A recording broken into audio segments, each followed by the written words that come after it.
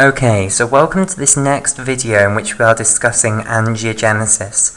So we're in the process now of discussing sprouting angiogenesis. So at the moment we've got this angiogenic centre uh, which is secreting this pro-angiogenic molecule and the most uh, famous mo pro-angiogenic molecule is vascular endothelial growth factor A. Okay, so what we want to see is um, how is this going to affect these two capillaries? Well, basically what's going to happen is they're going to produce sprouts that will uh, migrate towards the source of vascular endothelial growth factor A, and then when the two sprouts arrive at the uh, source of vascular endothelial growth factor A, this so-called angiogenic center, they will then fuse together to make one uh, continuous blood vessel. Okay, right. So, what will happen is the vascular endothelial growth factor A will diffuse over to these endothelial cells and which endothelial cell is going to get the biggest dose of vascular endothelial growth factor A? Well, it's going to be this one here in this case and it's more difficult to say in this one. We'll go for, um, we'll have to go for Mm, no, actually, I'll, I'll say that it's this one just because it will make drawing the picture easier. Uh, but yes, it would look as though it was this one basically.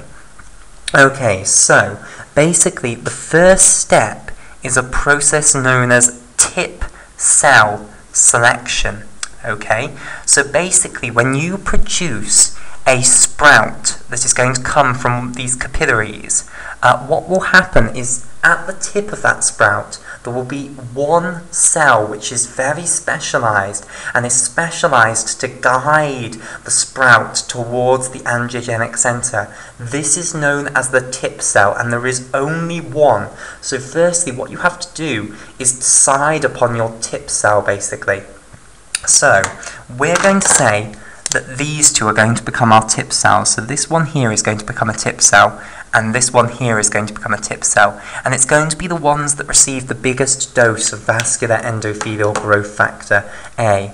Okay, so how does vascular endothelial growth factor A affect uh, these endothelial cells? Well, basically, the endothelial cells have a receptor that binds to vascular endothelial growth factor uh, A. Okay, and this receptor is known as the vascular endothelial growth factor VEGF receptor and it's the type 2 receptor. So this stands for the vascular endothelial growth factor. Okay, so that's, again, VEGF just stands for the vascular endothelial growth factor. And then the R is for receptor, and then it's the type 2 receptor that responds best to vascular endothelial growth factor A. Okay, so basically on the surface of these endothelial cells you have the vascular endothelial growth factor receptor 2 and what this is going to cause is it's going to cause these cells which get the biggest dose to become tip cells. Now basically what's going to happen is they're going to become very specialized. They're going to create these structures which are called filopodia.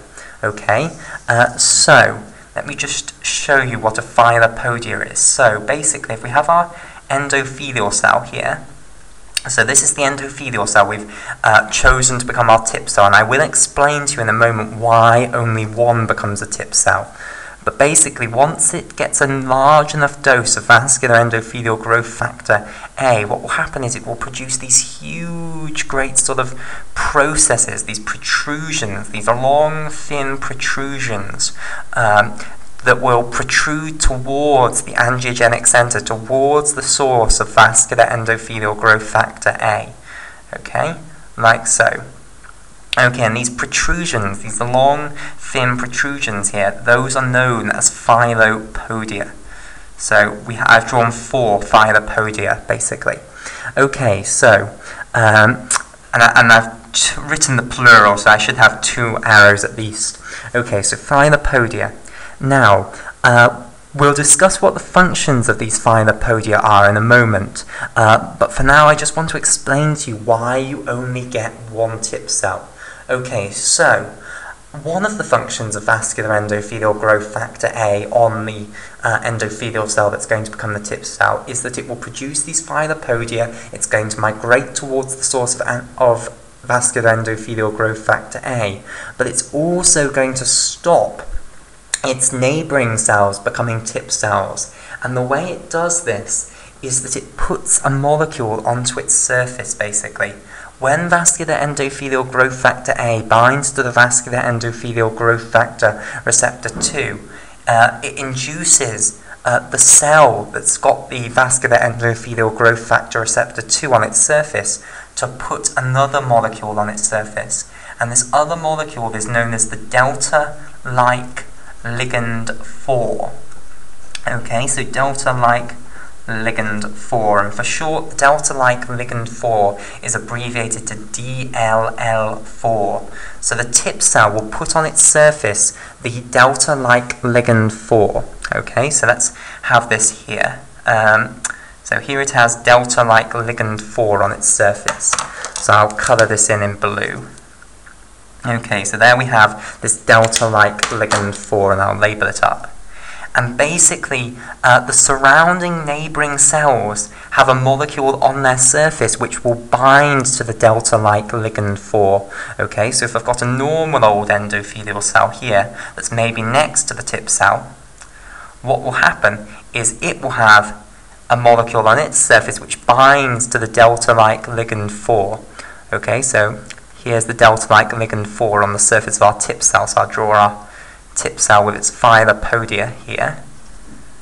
Okay, and uh, what will happen is when the delta-like ligand 4 binds to this receptor, this will cause these neighbouring cells to stop expressing vascular endothelial growth factor receptor 2, so they won't receive the same sort of activation as the tip cell, basically.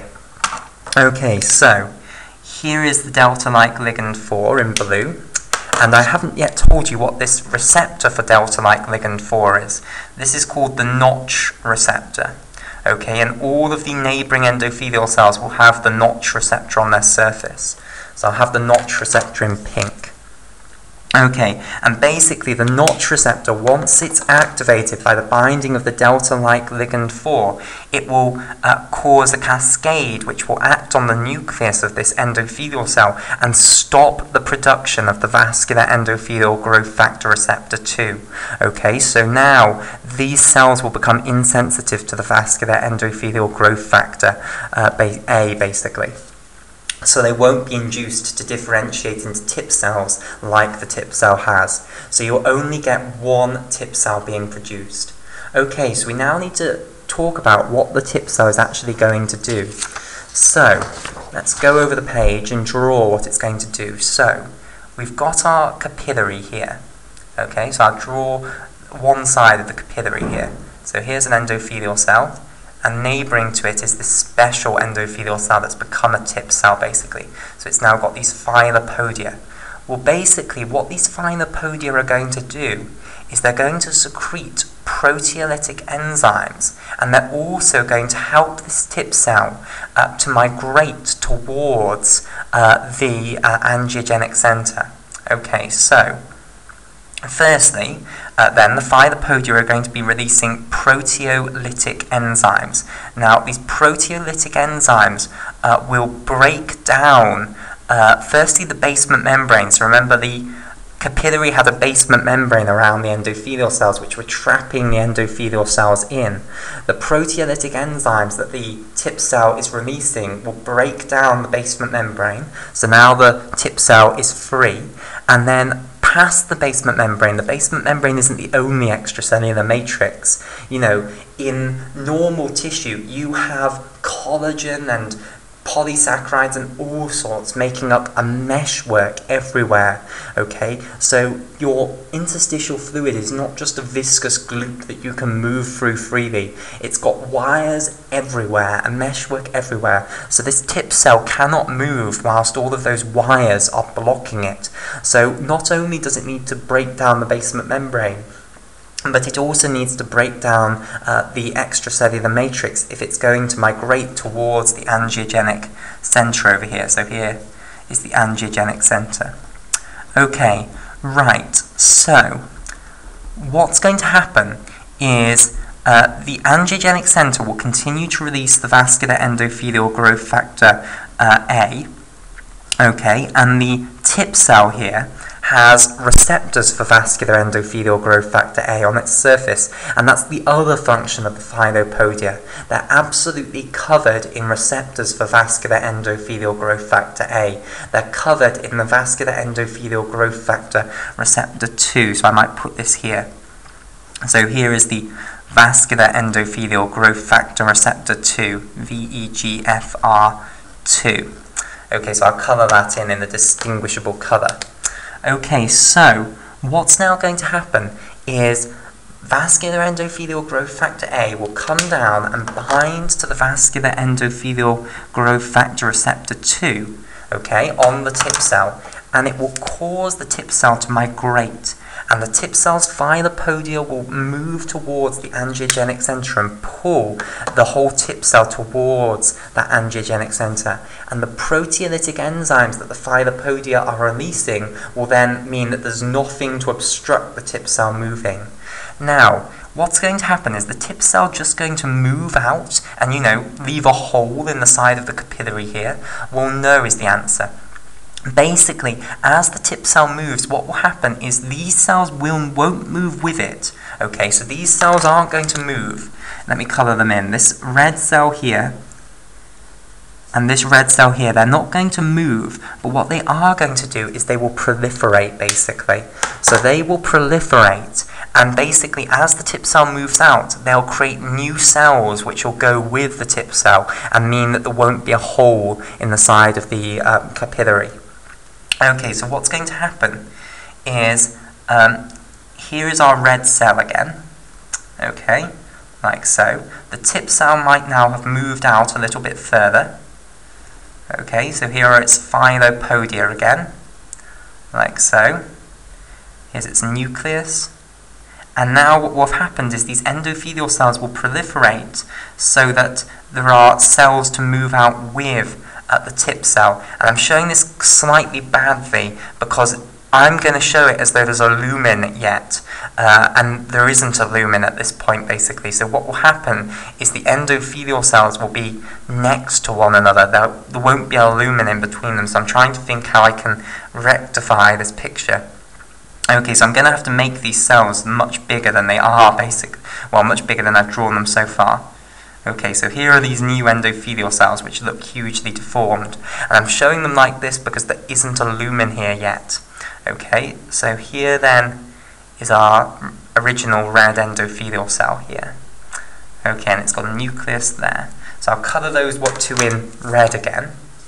Okay, so here's one, Okay, and I, I, want to stress that those have not moved. The tip cell moves, the endothelial cells don't move. They proliferate and produce cells that will go with the tip cell. Okay, and at the moment there is no lumen in this sprout. Okay, so what we've got here at the moment is a sprout. Okay, so this is the beginning of our sprout. Okay, right, that's sprouting out from the capillary. And these endothelial cells here that are going with the tip cell, those are newly created basically by the division of the endothelial cells. Okay, so these blue endothelial cells that we have here, uh, these are what are known as the stalk cells because they are the stalk of the sprout. So this is a stalk cell. Okay, and what's going to happen is the tip cell will continue to move towards the angiogenic center. So it will continue to release proteolytic enzymes from its filopodia, which will break down the extracellular matrix. And then the vascular endothelial growth factor A will continue to bind to the vascular endothelial growth factor receptor 2 on the surface of the filopodia. And the tip cell will continue to navigate towards the angiogenic center. And what will happen is these stalk cells now will continue to proliferate to make the stalk stalk longer and longer and longer. So the next phase that you're going to get is stalk elongation. Okay, and then what's going to eventually happen is that um, these stalks will get closer and closer to the angiogenic center. Okay, and we'll continue this video in this discussion in the next video.